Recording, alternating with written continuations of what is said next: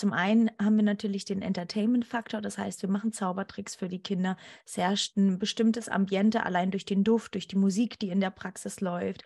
Wir haben ganz klares Wording. Ähm, wir achten darauf, dass, also ich, ich gebe euch mal ein kleines Beispiel. Bei uns wirst du keine Helferin erleben, die nach Zigarette riecht.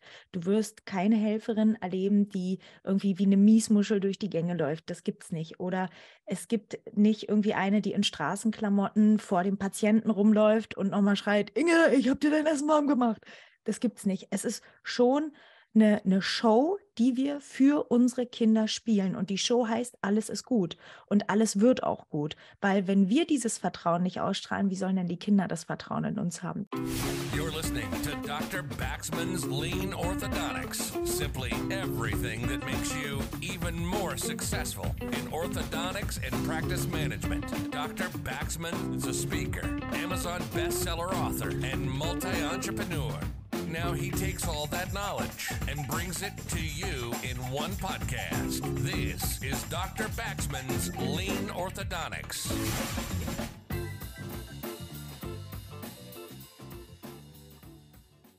Hallo Anne, schön, dass du heute im Podcast dabei bist. Ja, vielen Dank für die Einladung. Ich habe einen kleinen Fangirl-Moment, denn ich höre deinen Podcast ja auch. Ah, super, das ist toll. Du hast ja selber auch einen Podcast, den ich auch klasse finde. Und das ist sicherlich auch ein Thema, über das wir uns gleich noch unterhalten können. Aber ich würde eigentlich ganz gerne direkt mit dir starten. Nämlich, du hast eine ganz interessante Praxis gegründet, eine Themenpraxis würde ich es einfach mal nennen. Und da erzähl doch einfach mal, wie bist du auf die Idee gekommen? Wie hast du das dann auch umgesetzt und wie schafft ihr das nachhaltig dann auch bei diesem Thema sozusagen zu bleiben? Weil das finde ich super interessant und klasse. Ich muss dazu immer sagen, ich wollte als kleines Kind immer entweder Superstar oder Bundeskanzlerin werden. Und jedes kleine Mädchen hat, glaube ich, auch immer den Wunsch, Prinzessin zu werden. So war das auch bei mir.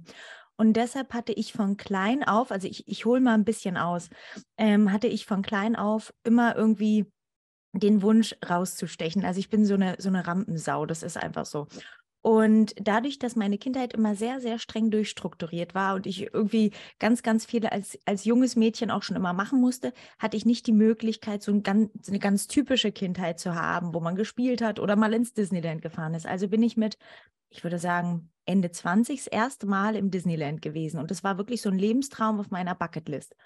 Und als ich dann gesehen habe, wie diese kleinen Mäuse geweint haben, als so eine Parade vorbeilief und die Lichter und dieses ganze Ambiente und dieses Gefühl, was ich auch in mir hatte, das hat mich so überwältigt, dass ich dachte, Wahnsinn, wie schön muss das denn sein, wenn ein krankes Kind nicht, und da, da habe ich überhaupt nicht an Zähne gedacht in dem Moment, sondern wenn ein krankes Kind, sagen wir mal auch ein Post, ein finales Kind, ne, was irgendwie, ähm, wo man davon ausgeht, dass es nicht mehr so lange zu leben hat, wenn ein Kind in so einer Atmosphäre irgendwie unterkäme und wenn die Ärzte Mickey-Mäuse wären und als Prinzessinnen verkleidet. Und ich kann mir vorstellen, das ist natürlich wissenschaftlich noch nicht 100 Prozent untermauert, aber es gibt ganz viele An Anhaltspunkte dafür, dass eine Ambiente und dass eine, eine Stimmung und eine, ein Gefühl ganz viel auch für die Gesundheit machen kann.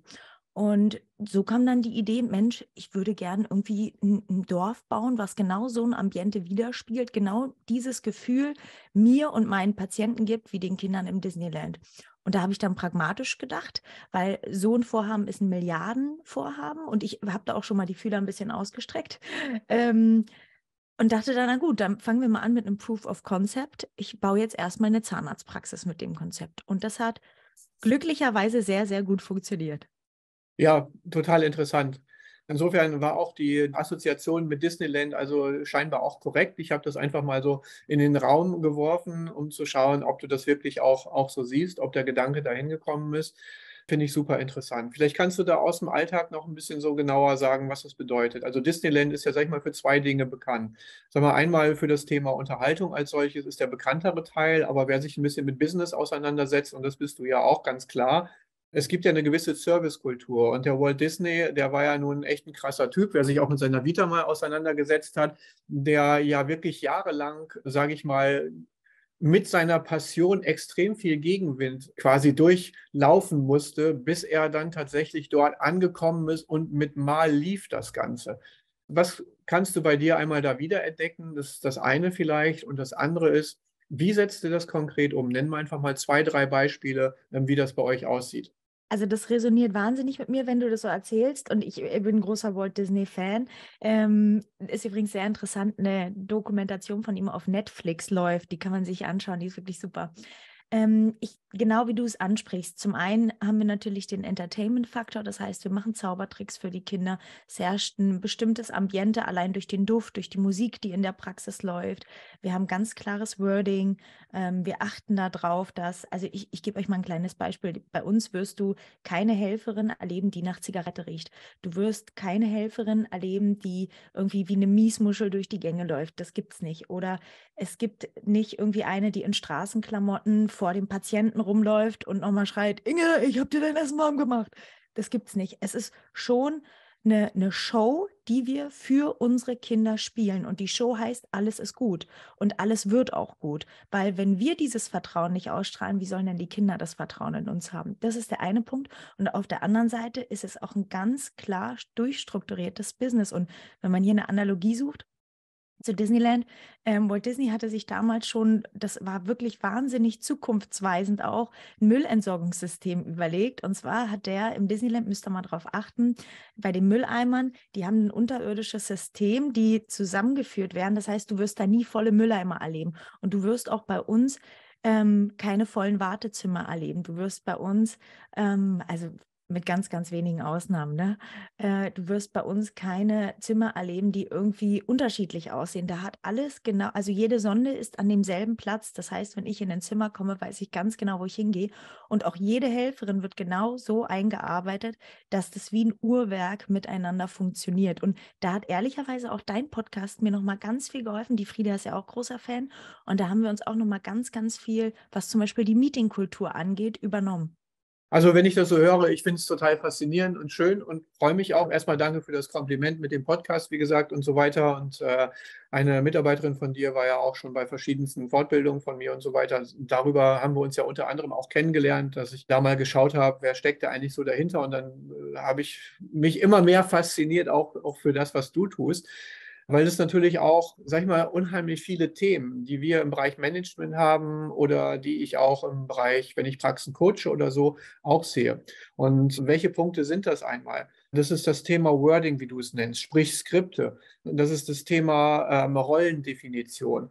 Bekommt da nochmal eine ganz neue Bedeutung bei dir. Viele sprechen von Stellenbeschreibungen. Das ist ein Begriff, den, den mag ich gar nicht, weil viele auch den Unterschied nicht verstehen zwischen Personen und Rollen. Dass zum Beispiel eine, eine Person nicht unbedingt an eine Rolle gebunden ist. Das ist ganz oft in ganz kleinen Praxen so, wo drei Leute arbeiten. Da gibt es eine, die macht alles und der andere macht auch irgendwie alles und, und dann passt das auch und keiner macht sich Gedanken. Und so solange genau dieses Konzept da ist, funktioniert das auch. Aber es muss nur einer mal krank werden oder schwanger werden oder doch mal kündigen oder zu alt werden. Dann ist plötzlich ein Riesenloch dort, was an Wissen, an Fähigkeiten, an Schnittstellen, Technik, an Kommunikation, an Patientenbindung, eigentlich an allem fehlt.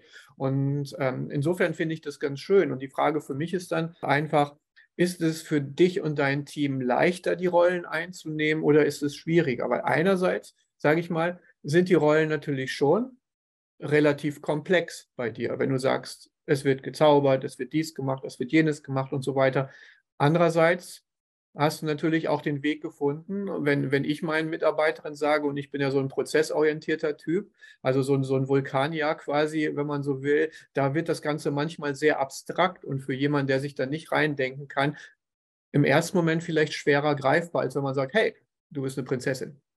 Ich habe es von Anfang an so gemacht, auch hier muss ich kurz ausholen. Ich hatte, als ich mit der Zahnmedizin angefangen habe, also mit der Selbstständigkeit, fast keine Freunde in der Zahnmedizin. Also ich hatte keine Freundschaften mit anderen Zahnärzten.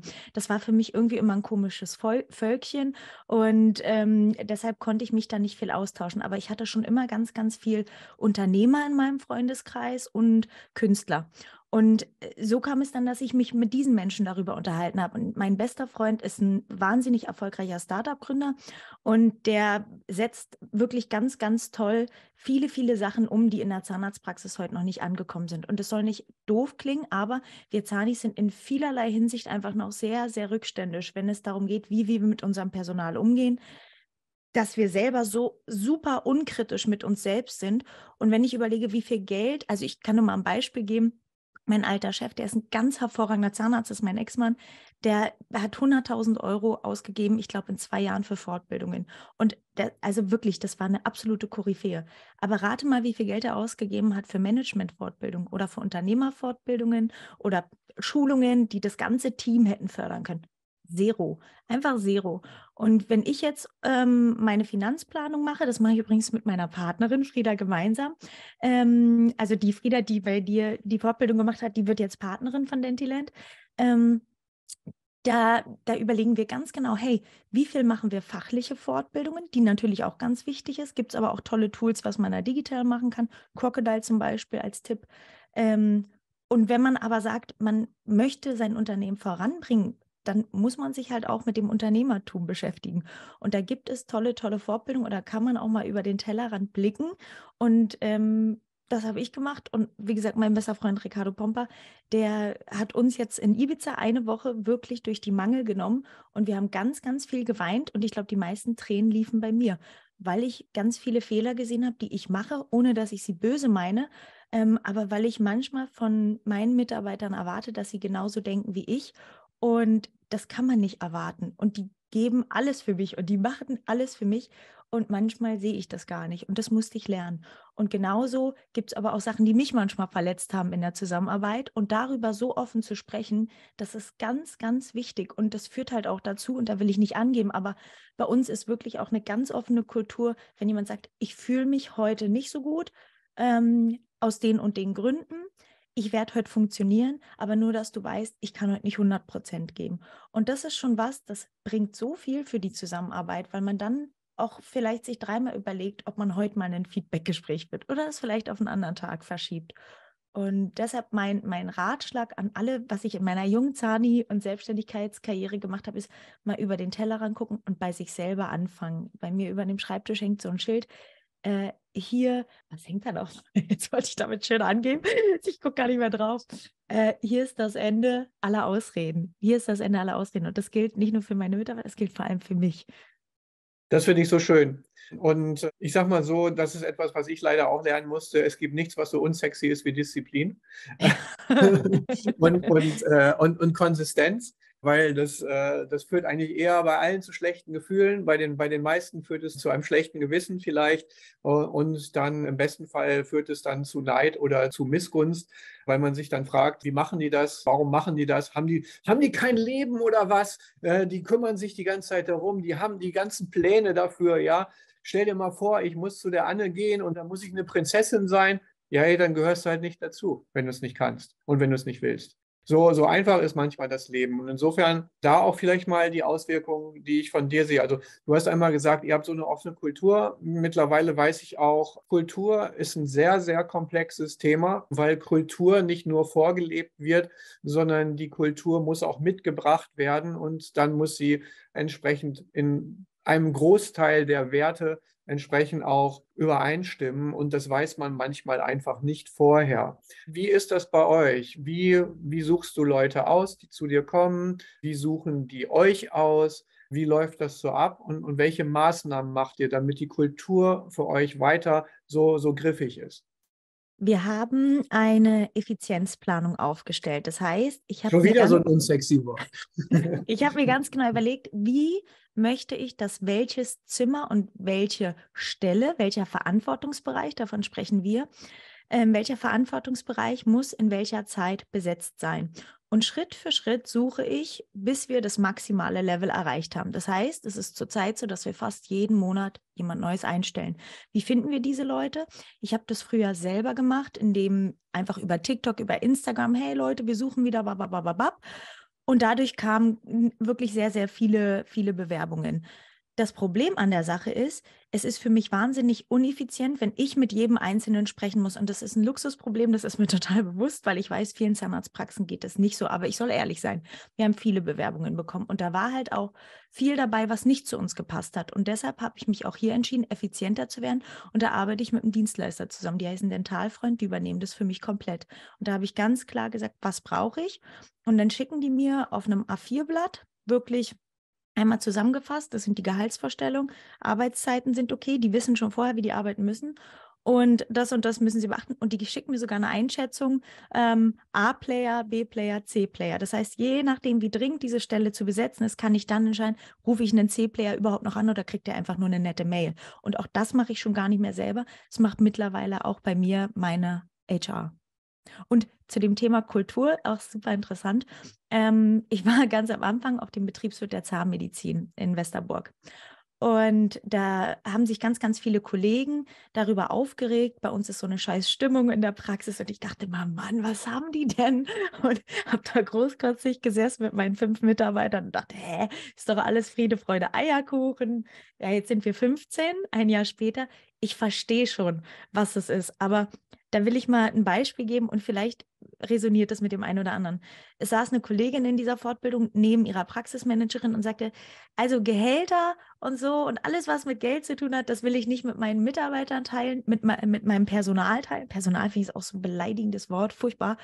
Mit meinem Personal die werden ja nur neidisch. Und das sagt sie neben ihrer Praxismanagerin. Und ich dachte mir so, Maus, das kannst du da jetzt nicht bringen. Und aber das sehen wir selber nicht. Und genau so eine Verhaltensmuster hatte ich mir auch schon anerzogen. Und deshalb ist es so wichtig, dass man immer wieder einen Spiegel hat und am besten einmal die Woche, einmal im Monat, so oft wie ihr irgendwie könnt, dass euch jemand mal spiegelt und sagt, du pass mal auf, das ist gerade nicht in Ordnung so wie du dich hier verhältst, ist zu bossy oder wie auch immer. Ne? Und aber auch für sich halt klar festlegen. Wir hatten von das Thema ja Kultur, auch wie offen soll man miteinander sein. Ich habe auch gemerkt, dass bestimmte Sachen mich auf Dauer selber belasten.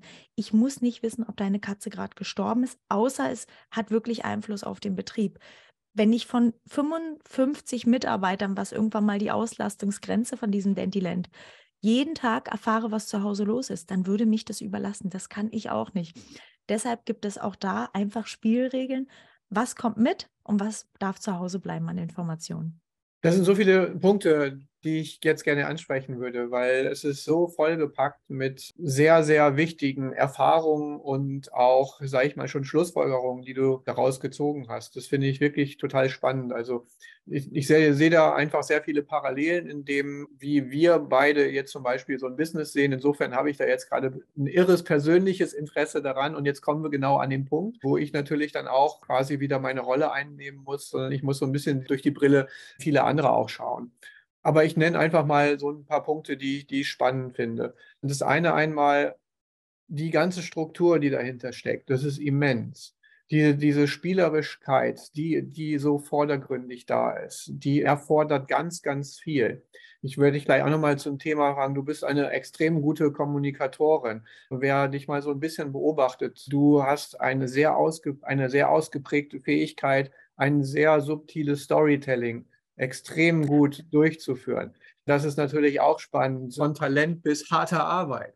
Da kommen dann so Dinge, die mich dann auch interessieren. Du hast von der Struktur in deiner Kindheit gesprochen. Also wir haben gleich eine ganze Menge Themen noch, die ich einfach gerne anreißen will, weil das so interessant ist. Und ich möchte nicht die Hauptredezeit hier übernehmen. Keine Sorge, liebe Zuhörerinnen und Zuhörer, das wisst ihr auch. Aber ich möchte mal ein Beispiel aus dem Coaching geben von mir gerade, wo ich eine ähnliche Situation, wie du sie gerade beschrieben hast, auch immer mal wieder sehe. Ich mache sehr viel Online-Coaching, ähm, weil es einfach praktisch ist und weil es zeitsparend ist und einfach super, super gut geht. Und da habe ich dann meistens eine 1 zu 1 Session mit einem Mindset-Coach von mir, der ist noch dabei. Also ist eigentlich eine 2 zu 1 Session in der Regel, und dann der Inhaber oder wer auch immer dann gerade da bereitgestellt wird für, für diesen Coaching-Termin in dem Bereich. Und da sehe ich genau das, was du siehst, ganz häufig. Dann, dann frage ich so, ja, ich sehe, du bist heute nicht allein in deinem Büro. Ja, ja, genau. Meine, meine Mitarbeiterin ist noch da, die muss an dem anderen PC arbeiten. Sag ich, ja, okay. Bist du dir sicher, dass das eine gute Idee gerade ist? Ja, ja, gar kein Problem. Ich habe ja einen Kopfhörer auf. Die hört ja nicht, was du sagst. Ich sage, ja, ey, aber ähm, zwei Dinge sie hört erstens, was du sagst, bist du dir sicher, dass sie das hören soll? Und zweitens denkt sie sich den anderen Teil aus, den sie nicht hört, um die Geschichte zu vervollständigen. Was vielleicht viel schlimmer ist als das, was ich sage, weil ich weiß genau, wie ich reden würde, wenn ich weiß, dass jemand zuhört, für den es nicht gedacht ist. Das ist so spannend, wie du auch sagst, diese Selbstreflexion, diese Selbstbeobachtung, dass man manchmal einfach so so ganz bei sich da ist und nur sich selber dann sieht. Sehr, sehr spannend. Ein großes Problem in der Zahnmedizin, absolut. Wir lernen es ja auch nicht. Also es ist gar kein Vorwurf und auch ich erwische mich immer wieder, dass ich in eine Rolle reinfalle. Ich bin so ein Ping-Pong-Ball. Ähm, ich gebe mal ein ganz praxisnahes Beispiel. Ich laufe durch die Gänge, mir fällt was ein und dann fange ich sofort an, mach du mal das, mach du mal das, mach du mal das und schmeiße so Aufgaben hin. Habe ich immer gemacht. Das ist natürlich furchtbar für alle. Und einen Tag später habe ich mir überlegt, das ist doch eine doofe Idee. Nee, lass sein. Mach mal wieder so, mach mal wieder so. Aber ich, mein Kopf, es musst du dir vorstellen, wirklich eine Achterbahn, die nie anhält, sondern es fährt die ganze Zeit und da kommt wieder eine neue Impression. Da sehe ich wieder irgendwas. Und das will ich immer am liebsten alles gleich umsetzen. Und Frieda zum Beispiel ist so ein total strukturierter, aufgeräumter, ruhiger Mensch. Der fehlt vielleicht manchmal dieser, dieser Druck zu sagen, wir machen das jetzt, aber der kommt dann von mir. Und dadurch, dass wir jetzt zusammen das festgestellt haben, dass wir wie Yin und Yang sind, haben wir die 24-Stunden-Regel gemacht. Wenn Anne eine verrückte Idee hat, muss Frieda 24 Stunden darüber nachdenken und mir dann ein Feedback geben, ob wir es machen oder nicht. Das sind ganz schlimme 24 Stunden für mich. In denen sitze ich so auf Kohlen. Aber für sie ist das toll, weil ich sonst wirklich einfach zu viel, zu schnell immer will. Und dadurch haben wir jetzt einen Weg gefunden, der auch die Mädels einfach nicht überlastet, ne? Weil nochmal, man kann ja nicht erwarten, dass andere 16, 18 Stunden Tage schieben. Das mache ich, weil ich mich dafür bewusst entschieden habe. Das kann man aber einfach nicht von Mädels erwarten. Und das muss man auch lernen und das muss man auch einfach anerkennen. Und wenn da jemand zehn Stunden Vollgas gibt, dann ist das einfach schon eine super geile Leistung. Und alles darüber ist einfach auch, kann man gar nicht verlangen, finde ich stimme ich 100% zu. Also finde ich, finde ich definitiv so, dass eine, eine, sehr, sehr gute Sichtweise in dem Bereich. Ich hoffe, ihr habt dieses, dieses Tool einfach jetzt auch mitgehört, weil das ist ein sehr, sehr effektiver Bereich. Wir haben ja immer mal auch so Kleinigkeiten zwischendurch, ob es die Zwei-Minuten-Regel ist, die Vier-Sekunden-Regel, jetzt haben wir eine 24-Stunden-Regel. Super, super genial. Und das sind natürlich auch Dinge, die, die man irgendwann braucht. Also ich kann es von mir aus auch wieder sagen, als ich mit drei Personen angefangen habe, habe ich ein ganz anderes Leben geführt als mit zehn. Mitarbeiterinnen und Mitarbeitern. Mit 15 habt ihr noch was ganz anderes, als wenn ihr dann später 30, 45, das sind wir jetzt im Moment mit vielen Remote-Mitarbeitern auch an neuen Konzepten und so weiter. Dein Ziel sind 55, bis die Auslastungsgrenze erreicht ist an Mitarbeitern. Du wirst dich auf dem Weg sicherlich noch fünf bis sieben Mal neu erfinden müssen, inklusive neuer Tools, neuer Maßnahmen und neuer eigener Rollenbeschreibung, auch was ein ganz, ganz zentraler Punkt ist dort in dem Bereich. Aber das ist auch etwas, was wir vielleicht direkt als Tools selber mitnehmen können, als Chefin, als Chef oder als, als Führungsperson vielleicht auch. Ich nenne einfach mal ein paar Beispiele. Ich bin mittlerweile viel, viel effizienter geworden, wenn ich in der Homeoffice oder einfach remote arbeite von irgendwo. Außer ich habe tatsächlich konkrete Patiententermine. Das, äh, das nehme ich jetzt mal raus. Weil wenn ich Patiententermine habe, dann bin ich nicht mehr Management, dann bin ich nicht mehr Chef, dann bin ich nicht mehr CEO, sondern dann bin ich einfach ein Arzt, der eine konkrete Rolle hat, nämlich die Patientenbehandlung. Da bin ich aber auch nichts anderes in dem Moment. Erst einmal diese Unterscheidung ist sicherlich ein wichtiger Punkt, der für viele schwierig ist, weil meistens sind wir, und das ist auch mal wieder in den Coachings und so in der Betreuung, wenn ich eine Rollenbeschreibung mit jemandem zusammen mache, dann sage ich immer, es fehlt ein Punkt, das ist der Feuerwehrmann oder die Feuerwehrfrau. Und das ist genau ein Problem, was wir haben. Das geht mir genauso, wenn ich durch die Praxis gehe, dann kommen 20 Leute, ich muss hier eben sprechen, ich muss hier eben sprechen, ich muss hier eben sprechen. Andauernd ist irgendwas. Und die Frage ist, wie geht man damit um? Und äh, jetzt kommen wir wieder zu dem, was du auch sagtest. Es kann manchmal auch schwer sein, sich in dem Moment dann abzugrenzen, dann zu sagen, okay, erstmal möchte ich gerne wissen, worum es geht, aber nicht, dass du es mir jetzt auf dem Flur erzählst, sondern schick mir eine Nachricht. Sag mir deine drei wichtigsten Punkte, um die es gerade geht. Und dann finde ich für dich eine geeignete Zeit, wo ich mich dann auch voll dir widmen kann und dir zuhören kann und dir die alle Wertschätzung, die du verdienst, dann zuteil werden kannst. Weil wenn wir jetzt hier nebenher gehen, da kommen jetzt noch drei Leute, dann werde ich keinem gerecht, mein Tag wird scheiße und euer gleich auch. Weil es einfach nicht lösbar ist, das Problem. Und das sind vielleicht nochmal inter interessante Punkte, wo ich von dir dann vielleicht auch wissen will, wie genau machst du das? Ich meine, du hast gerade schon gesagt, ihr habt eine schöne Rollenverteilung gefunden. Okay, das kann jetzt ein Glückstreffer sein oder es kann auch angebahnt sein. Und so wie ich dich bisher einschätze, ist es 80-20 für das Anbahnen. Ich habe es so gemacht. Ich hatte wirklich großes Glück mit der, ich sage es jetzt mal, der Erstausstattung an Mitarbeitern. Das war einfach wirklich ein Glücksgriff, weil die kannte ich überhaupt nicht bis auf eine. Ähm, und das war einfach ein wahnsinniger Glücksgriff. Und dieses Team war von Anfang an so toll, dass die mir auch Feedback gegeben haben. Und so sind wir gemeinsam gewachsen. Das war ein großes Learning. Und wir haben eins gemacht, vor der Praxiseröffnung habe ich die geschnappt und bin ins Disneyland gefahren und habe gesagt, genau das will ich, dass wir das transportieren in der Praxis. Und habe halt mit denen drei Tage Disneyland gemacht.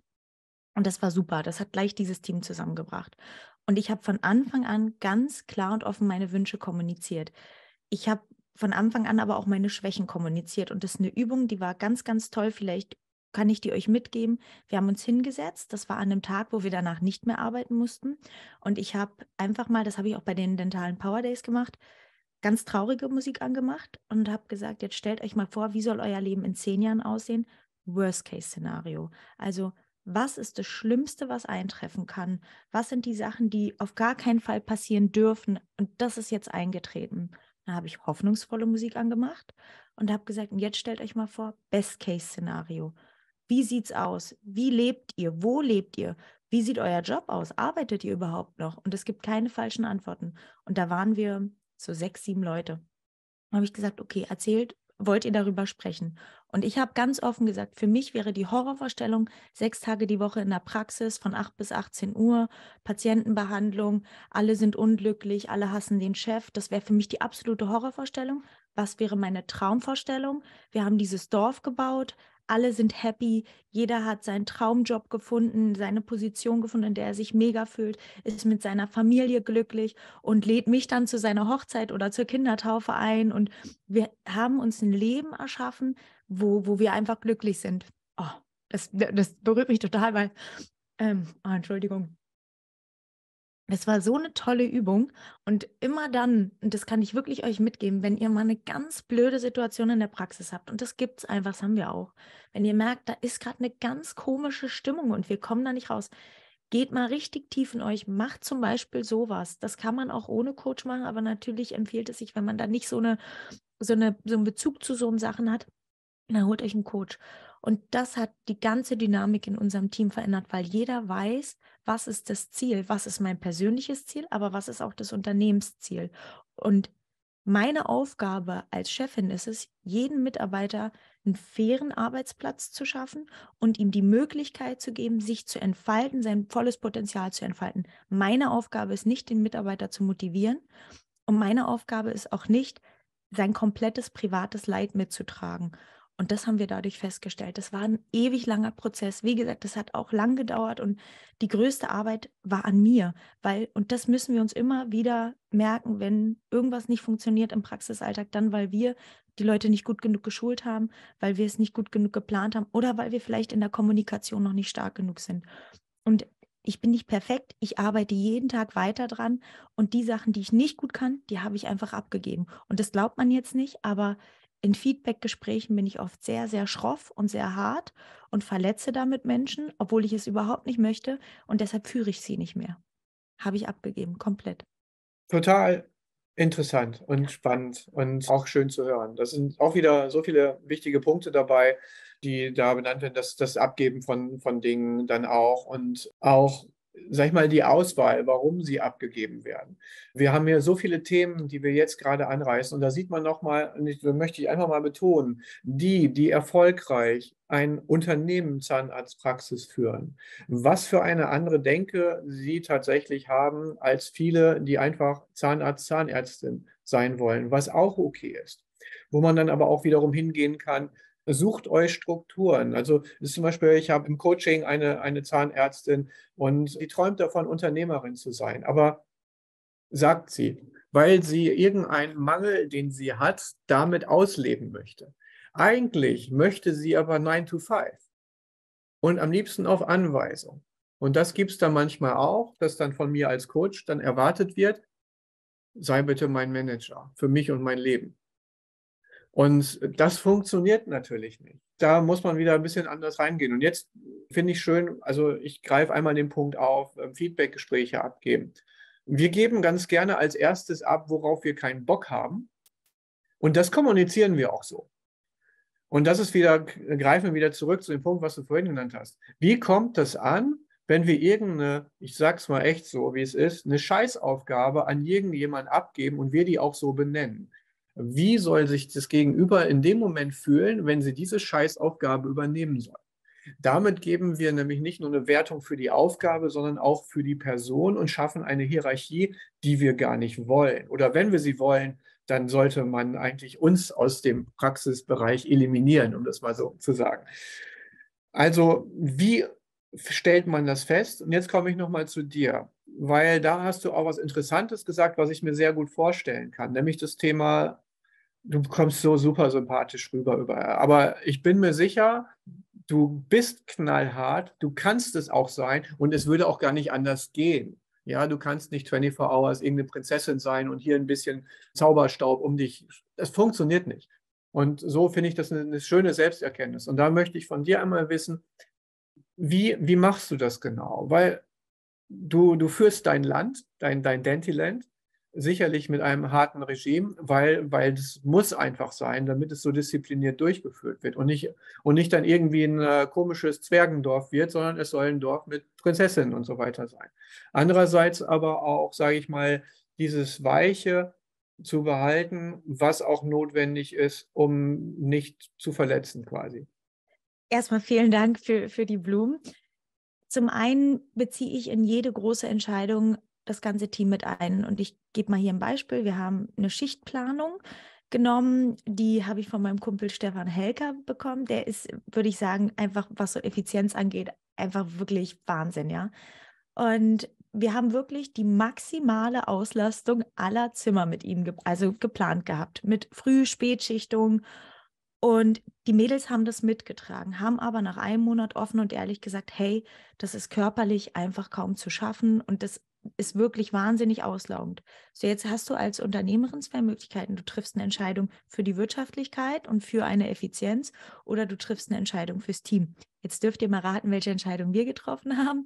Natürlich für Nummer zwei, denn wenn ich mein Team runterrocke, dann kann ich halt auch nicht erwarten, dass die da noch 100 Prozent liefern oder 95 Prozent.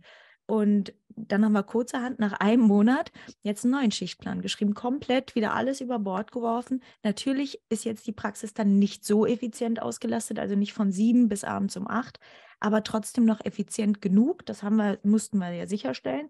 Ist ja irgendwie auch unsere Aufgabe als Unternehmer, das sicherzustellen, dass dieses Unternehmen noch in der Lage dazu ist, auch alle Gehälter zu zahlen.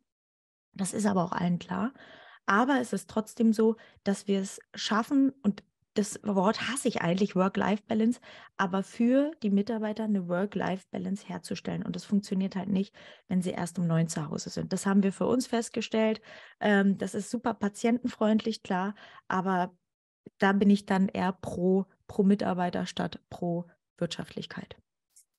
Das kann man gar nicht so trennen. Also das ist der erste Punkt, wo ich dir widersprechen würde, einfach bei zwei Wörtern. Einmal das, wie du es jetzt sagst, denn ein, ein zufriedenes, funktionierendes funktionales Team wird wesentlich mehr leisten Stimmt. Äh, als jedes andere Team. Und das muss jetzt gar nicht unbedingt, sage ich mal, in, in, KPIs sein, dass wir halt quasi Messwerte haben, wo wir sagen, keine Ahnung, wir haben jetzt pro Tag so viel Umsatz gemacht. Aber das wird schon alleine dadurch entstehen, dass sie wiederum bestimmte Patienten auch anziehen, die von der Stimmung, die herrscht, passen. Das heißt, einen kulturellen Fit sozusagen auch wieder bedeuten, was gleichzeitig auch aber wieder die Arbeitsstimmung dann steigert. Das heißt, das sehe ich ganz oft bei Praxisgründerinnen und Gründern. Die sind am Anfang, haben ihre 450.000 Euro für die neue Praxis aufgenommen und dann holen sie jeden von der Straße rein, der vorbeiläuft, weil sie denken, oh Gott, ich muss jetzt einfach mal ein bisschen Kohle ran schaffen hier, sonst geht das Ganze nach hinten los. Und damit machen die sich das Leben unheimlich schwer, nämlich dass sie quasi ihr eigenes System, ihr Wertesystem, ihr Team, ihre Strukturen infizieren mit etwas, was sie nicht wollen. Ich sage das extra mit so äh, krassen Worten jetzt einmal. Und da ist wirklich eine kulturelle Auswahl auch bei Patienten sicherlich wichtig. Das, das Zweite in dem Zusammenhang, was ich sehr schön und wichtig finde, ist, dass wir als Arbeitgeber, Arbeitgeberinnen dann auch eher Ressourcen bereitstellen. Das können Systeme sein, das kann das Gehalt sein, das kann bestimmte kulturelle Aufnahmefähigkeit. Da kommen wir immer wieder zu den Themen, die ich quasi an anderen Bereichen bespreche, zum Beispiel ich habe das immer Kaufmotive genannt. Kaufmotive ist aber auch etwas, wo man sagen könnte, im Prinzip sind das Überzeugungskriterien. Es gibt Menschen, die stehen auf Status. Es gibt Menschen, die stehen auf Gemeinschaft. Es gibt Menschen, die stehen auf Nachhaltigkeit. Meistens auf irgendwelche Mischungen in unterschiedlichen Gewichtungen, je nach Themenbereich.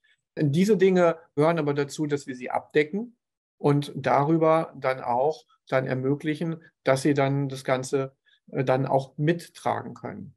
Der, der letzte Punkt, den ich aufgreifen würde, ist das Thema Work-Life. Ich hasse diesen Begriff total, Wobei ich ihn, sage ich mal, für bestimmte Menschen kann ich ihn verstehen. Also es gibt Menschen, die wollen einfach 9 to 5 arbeiten, weil sie auch, sage ich mal, von ihrer Struktur, von ihrer Vorstellung her vielleicht auch einfach, also die Veränderung zu etwas anderem wäre zu aufwendig für sie selber, als dass sie es machen würden. Das heißt, die brauchen es vielleicht mal und die muss man auch davor beschützen, dass es einen Ausknopf gibt, wenn sie aus der Praxis gehen und sie dann den Privatknopf anstellen können. Für viele andere aber, so wie für dich oder für mich oder Unternehmer oder so, ist es oft eher eine, ich nenne es eine Work-Life-Integration.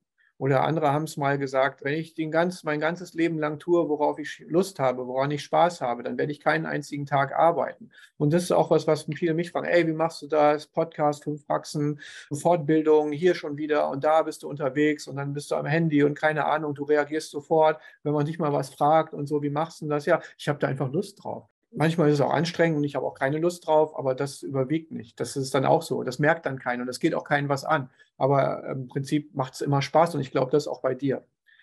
Vielleicht kannst du dazu noch was sagen und du wolltest auch gerade sowieso noch eben einsteigen in, in den Bereich ich glaube, was uns nicht bewusst ist, ich weiß nicht, wie es bei dir ist, aber ich habe keine Kinder, dass ähm, Muttis einfach zwei Fulltime-Jobs haben, wenn sie eine, eine 40-Stunden-Stelle haben. Und das musste ich auch lernen, dass es nicht so ist, dass das Mitarbeiter sind, die einfach nur 9 to 5 arbeiten wollen. Die können nicht mehr. Und die haben teilweise nur drei, vier Stunden Schlaf, weil zu Hause halt wirklich noch eine Familie wartet, die ähm, einfach ja auch irgendwie abgedeckt werden muss. Und die Kinder fordern ja auch Zeit an und das kann ich einfach auch nachvollziehen. Und äh, dementsprechend kann ich jetzt mal alle Frauen hier in Schutz nehmen.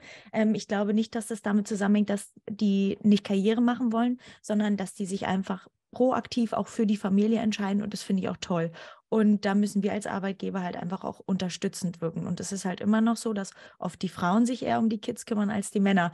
Und ähm, ich merke das in meiner Praxis, dass Muttis aber oft sehr, sehr effizient arbeiten. Das heißt, eine, eine Fachkraft, die vielleicht eine normale Arbeit in acht Stunden machen würde, schafft eine Mutti halt vielleicht auch in vier, weil die das gewohnt ist, nochmal ganz anders irgendwie ihre Zeit zu bündeln. Die muss effizient sein.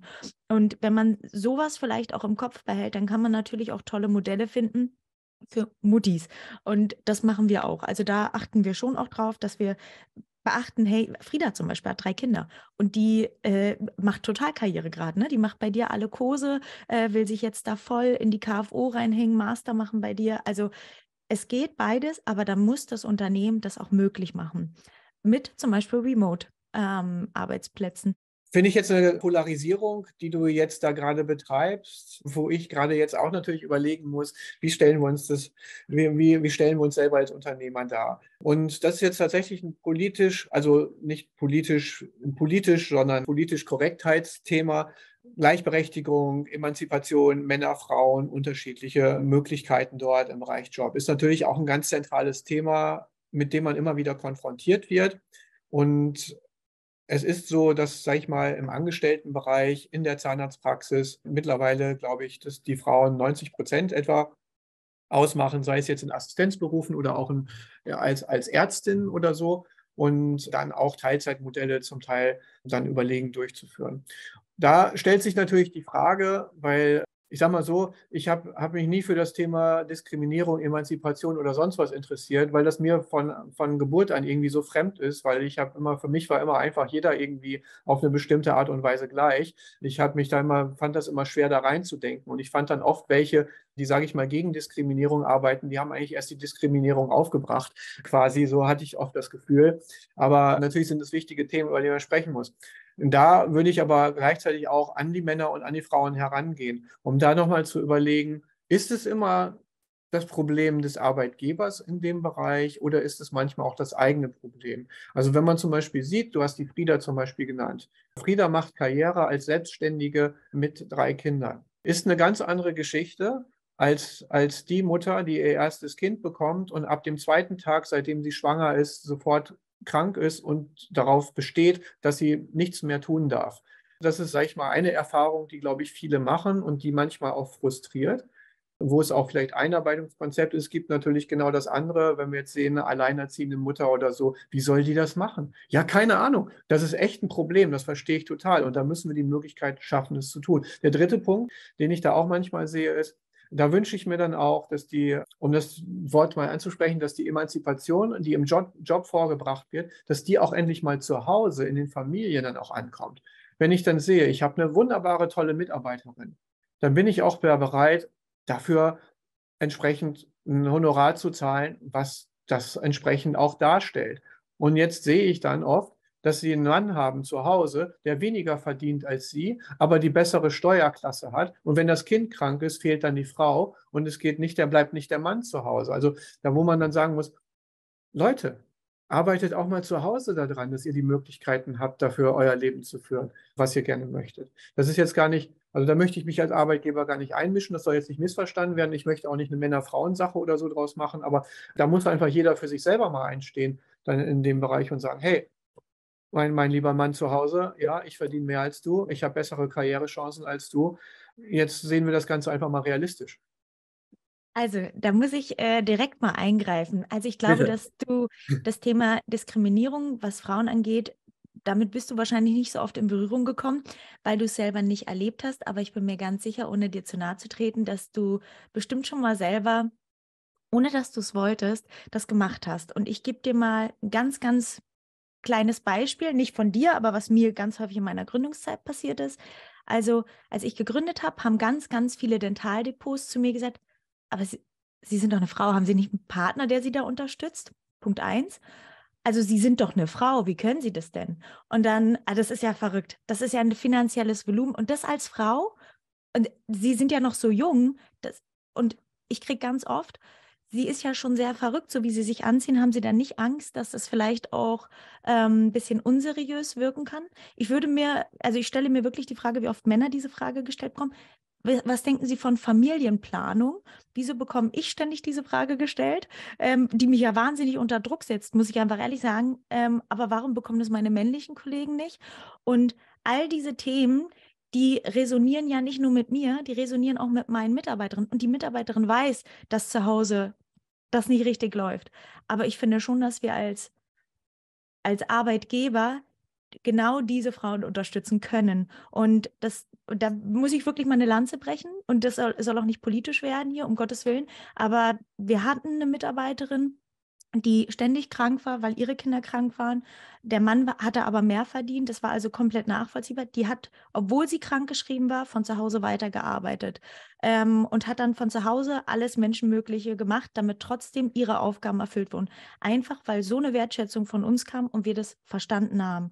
Und genauso ist es jetzt. Wir haben eine, eine Maus, die schwanger ist. Das hat sie aber drei Monate vorher angekündigt, dass sie es jetzt versucht. Sie ist schwanger und ist normalerweise Stuhlassistenz, sitzt jetzt hinten, telefoniert Recall-Listen ab und dann haben wir uns gemeinsam haben wirtschaftlich überlegt, dass es aber schlauer ist, sie ins generelle Beschäftigungsverbot zu setzen. Und wir wissen auch schon, wenn sie wiederkommt, dass es dann wahrscheinlich eine Sterri-Stelle wird oder wahrscheinlich auch eine Bürostelle, weil eventuell danach noch mal ein Kind kommt. Das ist aber klar und offen kommuniziert, weil ich 100 Prozent sage, passt mal auf, wir sind eine Kinderzahnarztpraxis, wir müssen familienfreundlich sein. Wenn nicht wir, wer denn dann?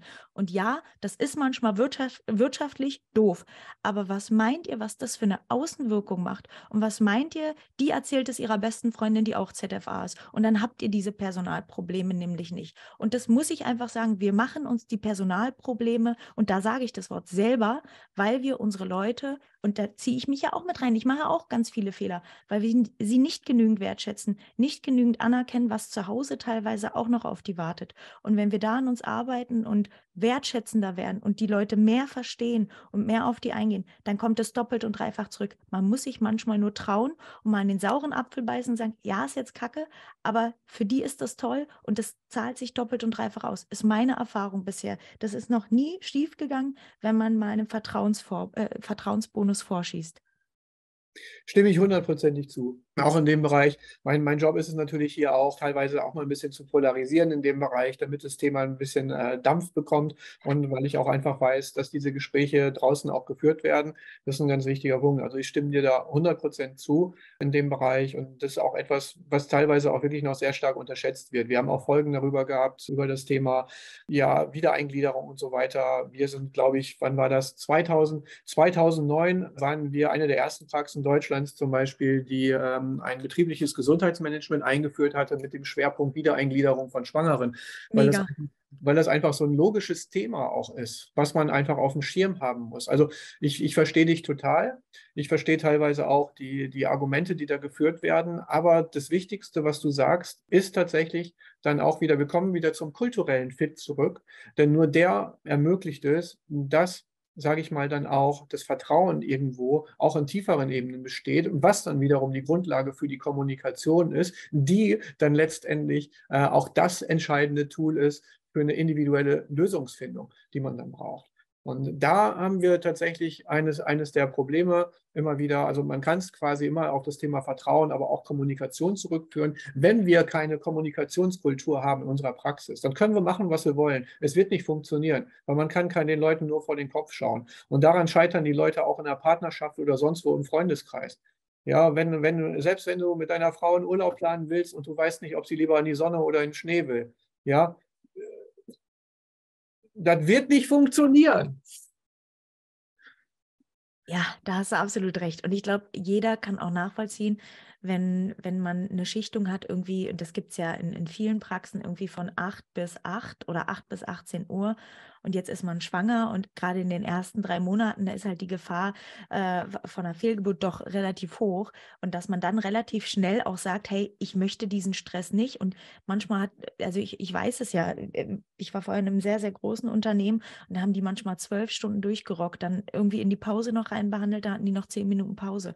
Das ist halt doof, das ist halt wirklich doof. Und dann ist auch nachvollziehbar, dass die sich sofort krank schreiben lassen, weil sie sagen, dieser Arbeitgeber hat für mich nicht viel gemacht, was soll ich denn jetzt für den machen? Das ist dann das Mindset und da ist halt vorher schon viel schief gelaufen, finde ich. Hm, absolut, genau. Und oft wird das dann auf ganz anderen Ebenen abgekommuniziert. Nicht, dass man sich abspricht, komm, lass uns mal drüber reden. Auch wie du sagst, ist doch wunderbar, wenn man sagt, die Familiengründung steht an. Oft weiß man das doch als Chef, wenn man sich so ein bisschen mit seinen Mitarbeitern beschäftigt. Je nachdem, wo man dann auch lebt. Also wir zum Beispiel haben Niederrhein, das ist tatsächlich relativ traditionell zum Teil. Und dann fängt ja die Verlobung an und dann fangen die Hochzeitsplanung an und dann wissen wir auch, es werden jetzt weitere Schritte folgen, weil das einfach traditionell so dort der Usus ist. Und, und dann ist auch gut und dann kann man das einfach mal ansprechen. Und ich finde, auch da kann man dann manchmal die Angst auch als Arbeitgeber wegnehmen. Es ist ja so im, im Bewerbungsgespräch, sag ich mal, ist es vielleicht kritisch zu fragen, wollen Sie schwanger werden oder so? Und das ist auch juristisch sicherlich ein ganz großes Problem und anfechtbar. Aber wenn man sich schon ein bisschen kennt, dann kann man sagen, hey, ähm, ich weiß doch, dass dir Familie wichtig ist, sonst wärst du ja gar nicht bei uns, weil wir sind halt einfach so bei uns. Wenn sich da irgendwas ergibt oder wenn du Pläne hast, bezieh mich doch einfach frühzeitig mit ein, damit ich dir helfen kann und dass du die besten Wege dafür dich findest. Also so habe ich dich jetzt verstanden und, und so finde ich es auch sinnvoll. So betreiben wir es zum Beispiel auch und das kann ich einfach jedem empfehlen. Und natürlich muss man dann auch sehen, dass auch das man, manchmal stellt man auch fest, es funktioniert auch nicht mit jedem genau gleich. Dann ist es eben so. Ja, dann, dann gibt es welche, die kommen dann von selbst und sagen das und, und da ist man natürlich auch ganz anders strukturiert. Und es gibt dann manchmal auch Mitarbeiterinnen, die verändern sich dann plötzlich so vielleicht auch durch ihre Familie getriggert oder die sagen, so lieber Chef, ich werde jetzt schwanger werden und wenn ich schwanger bin, dann seid ihr schon mal drüber klar, ich darf dies nicht machen, ich darf das nicht machen, ich darf das, darf das nicht machen. Dass das vielleicht ein ungünstiger Gesprächseinstieg dann in dem Moment ist, ist auch klar. Aber dann sind wir wieder auch als Chef gefragt, dass wir einfach mal unser Ego beiseite lassen und dann nicht sagen, hey, ich weiß es aber besser als du, ich zwinge dich jetzt. Trotzdem das, weil das ist, ah, und das sieht man so oft, wo man dann einfach sagen kann, hey, ich verstehe dich, du machst dir total Sorgen und ist auch vollkommen berechtigt und gerade in der ersten Zeit, lass uns mal drüber reden. Wollen wir uns genau. nicht mal zum Kaffee zusammensetzen? Und genau. dann finden wir eine Lösung und auch gerade das, was du gesagt hast, wir machen zum Beispiel auch ganz oft, dass wir Teilzeit arbeiten, weiter äh, entsprechend dann auch mit denen machen, dass auch wenn sie dann ihr Kind geboren haben, das, die, die Elternzeit heißt ja nicht zwingend, man darf nichts tun, man muss isoliert sein. Das ist ja, kann man auch seinen Mitarbeiterinnen mal klar machen, dass sie auch wissen müssen, wenn sie drei Jahre raus sind und kommen dann wieder, die Welt hat sich weitergedreht in der Zeit das ist vielleicht nicht der beste Plan, es genauso zu machen, wenn man möchte, wenn man genauso wieder einsteigen will wie vorher. Es ist riskant. Das heißt, wenn man es schafft, irgendeine Bindung weiter zu haben, sei es jetzt zumindest auf der persönlichen, aber vielleicht auch auf der persönlichen und auf der Arbeitsebene, durch kleinere Arbeiten, die man macht, irgendwas remote von zu Hause aus, irgendeine Liste abarbeiten oder irgendwie so, dass man komplett flexibel machen kann, ist man ja. sicher schon wieder auf dem richtigen Weg. Absolut, absolut gebe ich dir 100 Prozent recht. Also schlussendlich, glaube ich, hängt es immer daran, dass, dass die Kommunikation einfach stimmen muss und das ist ein ständig, ständig sich weiterentwickelnder Prozess und ich mache gerade so ein Coaching von, Coaching von der Lea Sophie Kramer, vielleicht kennst du die. Das ist so eine ganz große Investorin aus Deutschland. Ähm, und die hat ein Coaching ins Leben gerufen, das heißt Ten More In. Das ist nur für Frauen. Und ich will hier nicht als Emanze so rüberkommen, aber ich finde schon, dass das ein wichtiges Thema ist, was man auf die Karte bringen kann. Und ähm, es ist nicht so, dass ich mich da wahnsinnig stark für das Thema mache, aber jetzt gerade habe ich das Gefühl, muss ich hier mal eine Lanze für die Frauen brechen. Ähm, weil das in vielen, vielen thematischen Bereichen in der Zahnmedizin irgendwie vergessen wird. Und es ist halt schon so, dass wir vielleicht nochmal ein anderes Gepäck manchmal mittragen müssen als unsere männ männlichen Kollegen. Und ich rede nicht von mir, ich rede wirklich von den Muttis. Und ähm, woran wir vielleicht denken sollten, wenn das in diese Richtung Schwangerschaft geht oder wenn es, äh, und du sagst es ja selber, es ist ein politisch total schwieriges Thema. Ihr müsst ja nicht direkt fragen, hey, wie sieht's denn aus? Hast du in den nächsten drei Monaten vor, Sex zu haben? Und könnte das sein, dass da vielleicht dann ein dicker Bauch entsteht? Aber ihr könntet schon sagen, hey, kannst du mich, so wie du es formuliert hast, in deine Zukunftsplanung mit einbeziehen? Denn falls sich irgendwas ändert, dann wäre es auch deinen Teamkollegen gegenüber mega fair, wenn wir rechtzeitig Ersatz finden und jemand, der deinen Verantwortungsbereich dann wirklich auch adäquat übernehmen kann. Und wer könnte den denn besser einarbeiten als du? Und so haben wir das gemacht. Und das kam gut an. Also das wird auch nicht immer funktionieren, hast du auch recht. Und es gibt immer auch, na klar, Miesmuscheln. Und es gibt immer auch ähm, Menschen, die das nicht verdient haben, dass man so denen gegenübertritt. Aber nur weil es ein, zwei von diesen Miesmuscheln gibt, muss man halt nicht den 200 anderen, die vielleicht das ganz toll und wertschätzend aufnehmen, schwer machen. Und so wie ihr in die Welt hineinschreit, so kommt es auch zurück. Wie gesagt, klar gibt es auch immer, ich habe auch eine blöde Erfahrung gemacht, ähm, aber wenn man dann wirklich mal reingeht und versucht auch die andere Seite zu verstehen, dann gibt es auch Gründe, warum sich dann jemand vielleicht mal in euren Augen doof verhält. Ne? Wenn man dann wirklich mal tief sich selber reflektiert, was habe ich denn da in der Situation falsch gemacht? Und wenn wir so in die Welt, nicht nur in der Zahnmedizin rausgehen, glaube ich, schaffen wir das einfach auch insgesamt das Leben ein bisschen angenehmer für alle zu machen soll jetzt nicht tief philosophisch klingen, aber vielleicht ein bisschen. Nein, absolut stimme ich dir auch voll zu. Ich würde jetzt einen letzten Themenblock noch eben übernehmen, der sich aus daraus äh, gerade ergeben hat. Und zwar, du hast das Thema dann Einarbeiten und Ersetzen entsprechend gemacht. Das haben wir schon gestriffen, eigentlich das Thema, nämlich, dass wir gesagt haben, wir sprechen über Skripte, wir sprechen über Prozessstrukturen, Rollen und so weiter. Und da würde ich nochmal ganz gerne als, als abschließenden Bereich für dich nehmen. Du hast vorhin gesagt, als Kind bist du schon so sehr strukturiert auf, aufgewachsen. Welchen Einfluss, also erklär das mal genauer, was meinst du damit, ohne jetzt irgendwas äh, zu Persönliches zu verraten? Was meinst du damit und wie sehr hat dich das dabei beeinflusst, dass du dann auch schon diese extrem konkrete und präzise Struktur jetzt für deine Praxis Dentiland aufgebaut hast? Ich bin mit vier Jahren fing das im Prinzip an. Also da, bis dahin geht meine Erinnerung zurück, dass ich äh, wirklich auch schon im Kindergarten im Leistungssport tätig war. Also ich habe Leichtathletik gemacht. Und wenn andere Kinder irgendwie Buden gebaut haben oder spielen waren, dann war ich halt im Sportverein. Und mit sechs Jahren habe ich angefangen mit dem Reitsport. Und dann war es so, dass äh, mein Vater zu mir gesagt hat, wenn ich es schaffe, in der dritten Reitstunde zu galoppieren, dann gibt es das erste eigene Pferd. Und das hat er dann vom Schlachthof gerettet und hat es dann, mein Opa und mein Papa, die sind Landwirte und hat es dann im Schweinestall untergebracht. Das war dann so meine Überraschung zum sechsten Geburtstag. Und dann war es immer so, dass wir äh, nach der Schule, also ich hatte irgendwie um 13, 14 Uhr Feierabend, dann bin ich äh, schnell Mittagessen gegangen, da hatte ich 15 Minuten Zeit, das wusste ich auch, musste dann nach Hause, weil wir in den Stall mussten. Da hatten wir dann über die Zeit, mein Vater hatte angefangen, Pferde zu züchten, dann auch mehrere Pferde, die mussten auch versorgt werden. Und dann war ich so um 10 zu Hause, dann ging es in die Badewanne, da wurde dann zum Beispiel Vokabeln gelernt, Matheabfolge gelernt, Hausaufgaben gemacht und um 11 war ich im Bett und bin dann morgens um sechs wieder aufgestanden, habe Frühstück gemacht für Papa und mich und habe das Auto rausgefahren. Und so lief meine Schulzeit bis zum 13. Lebensjahr. Dann bin ich auf eine Sportschule gekommen. Und auch da lief es so, dass du nicht Zeit hattest für Freizeit. Also ich hatte per se nicht eine normale Kindheit, in der man mit anderen Kindern gespielt hat, sondern meine Belobigungen kamen auch immer nur dann, wenn ich eine Leistung erbracht habe. Also ich bin wahnsinnig leistungsorientierter Mensch und hole mir so auch meine Anerkennung und definiere Erfolg immer über Leistung, was natürlich auch sehr toxisch sein kann. Arbeite ich gerade dran. Ähm, aber das ist mein innerer Motor, der mich immer wieder antreibt und immer wieder auch morgens aufstehen lässt. Äh, wo vielleicht andere sagen, oh, wir gehen mal mit Freunden Kaffee trinken. Das gibt es bei mir gar nicht. Und deshalb hat sich auch mein Freundeskreis aus Leuten gebildet, die genauso verrückt sind wie ich und mich anrufen und sagen, und wie läuft es in der Praxis? Erzähl mal ein paar KPIs. Die fragen halt nicht, wie geht's, sondern so eine Sache. Stefan Helker, liebe Grüße an dich. Ähm, und das ist aber total spannend. Und wie gesagt, na klar kann das auch auf Dauer toxisch sein. Ähm, und ich arbeite auch, wie gesagt, daran, auch mal mich mal rauszunehmen und irgendwie auch mal zu entspannen. Das muss ja irgendwie auch sein. Aber ich habe halt auch viel, viel Freude an den Projekten.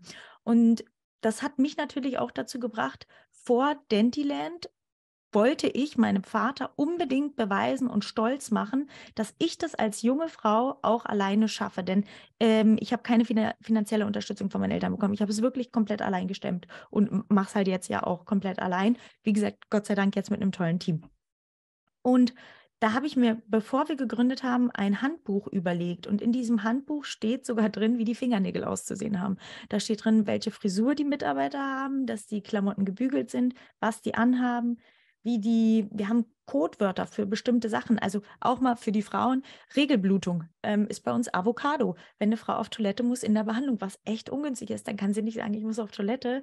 Man kann sagen, ich muss auf die 17, aber wir haben halt gesagt Avocado. Da kann kein Patient was damit irgendwie verbinden. Ähm, vielleicht kann man das übernehmen. Im Praxisalltag hat schon oft geholfen bei uns. Ähm, und beim Onboarding nutzen wir genau auch diese Systematik. Das heißt, Bewerbung alleine schon da findet ein äh, Persönlichkeitstest ja statt. Ich hatte über Dentalfreund vorhin gesprochen.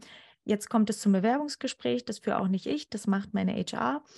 Und die hatten einen ganz, ganz klaren Bewerbungsbogen. Auch das Probearbeiten ist nicht einfach nur mitlaufen, denn es ist ja nicht nur ein Probearbeitstag für uns, sondern auch andersherum. Auch der Bewerber schaut sich ja an, gefällt es ihm hier. Und wenn so ein Probearbeitstag halt stinklangweilig ist und die einfach nur irgendwie in der Ecke steht und zugucken darf, könnte ich mir vorstellen, dass es nicht so cool rüberkommt. Also haben wir uns auch da ein Programm überlegt für den ersten Tag. Ähm, Probearbeiten. Eine Woche bevor sie eingestellt wird, gibt es eine Mail und das Handbuch, dass sie eine Woche Zeit hat, da einfach mal reinzublättern. Wir erwarten aber nicht, dass sie es schon auswendig kann. Am ersten Tag gibt es ein kleines Präsent mit einem Branding von Dentiland drauf, plus Blumenstrauß. Und sie läuft in jeder Abteilung zwei Stunden mit. Nach sechs Stunden ist der Tag vorbei. Sie geht nach Hause, ist erstmal beseelt. Und ab dem zweiten Tag ist sie komplett in der Schiene, in der sie dann später auch eingesetzt werden soll. Und wir haben dieses Mal mit einer Mitarbeiterin was gemacht und das fand, empfand ich als wahnsinnig smart, muss man sich aber leisten können. Wir haben jemanden, der an der Rezeption und am Telefon später mal arbeiten wird, zwei Wochen im Behandlungszimmer gehabt, dass die jeden Behandlungsablauf kennengelernt hat und wirklich versteht, was da gemacht wird. Denn wir haben oft erlebt, wenn am Telefon ein Patient fragt, hä, warum? Dann war das schwierig für die Mäuse, die nicht im Zimmer waren. Und die, die aber wirklich im Zimmer auch mitgearbeitet haben und verstanden haben, was da passiert, konnten ganz anders vor dem Patienten kommunizieren. Und das müssen ja nicht mal ZFA sein, die am Telefon sitzen oder äh, Rezeptionskräfte, sagen immer Direktoren des ersten Eindrucks. Die müssen nicht ZFA sein, die können auch aus dem Service kommen, aus der Hotellerie, wie auch immer. Aber das ist schon wichtig, dass die verstehen, was im Zimmer passiert und was das Konzept beinhaltet. Und das ist unser Onboarding. Und das dauert vier Wochen, bis jemand alleine fliegen darf. Nach vier Wochen, wenn du nicht alleine fliegen kannst, darfst du gehen. Punkt.